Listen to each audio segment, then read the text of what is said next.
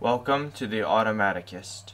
Alright, so this is going to be just a quick video on the excellent program Mactracker. So this is for anyone that's into vintage Macs like I am, or anyone who does like troubleshooting. And basically what it is, is it's a thing that's basically showing you like every single Apple product ever, going all the way back to the Apple One.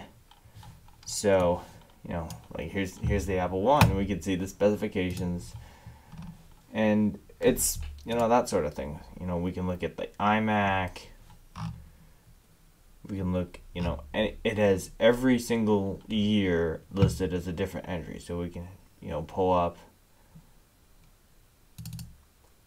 I'm pretty sure that's the one that I have. That's what the startup sound sounded like, which is basically still the startup sound that we have if we want to open up something older, that's the setup sound that had. Um, and it's really great because it really has everything. And It'll also show you, like, for example, how well supported something is. So we can go look at this. Support status vintage.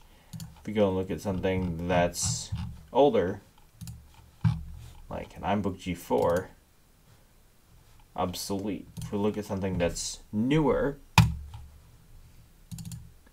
you can see it's supported, which means they'll still get like software updates and stuff. There's a history tab. There's a lot of different tabs depending on what you're looking at. You know, if you're looking at, for example, computer, um, you know, you can um, just sort of like open this up. Yeah, they don't have that anymore. Um, you know, we can, you know, look at all this stuff. We can see this was the version of the Force Touch trackpad. We could see that um, all this all this cool stuff. I'm pretty sure this is the computer that I'm demoing this on. You know, it's got it's gonna show you know when it was released and all that you can see what it has. So Bluetooth 4.0 instead of 5.0 just just based on like when it came out. You can see all that. And in general you know like what sort of stuff.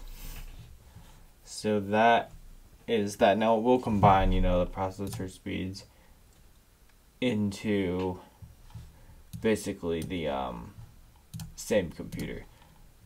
But yeah, you can like open as many things as you want. You know, I just opened all these and we can actually see they're all, you know, they're all right there.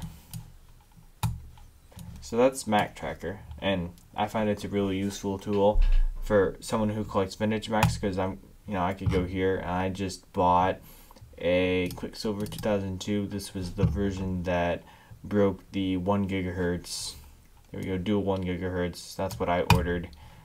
Um, we can see, you know, when it was introduced, what it looks like, what versions of Mac OS it can run, and, you know, that's kind of that. So that's Mactracker.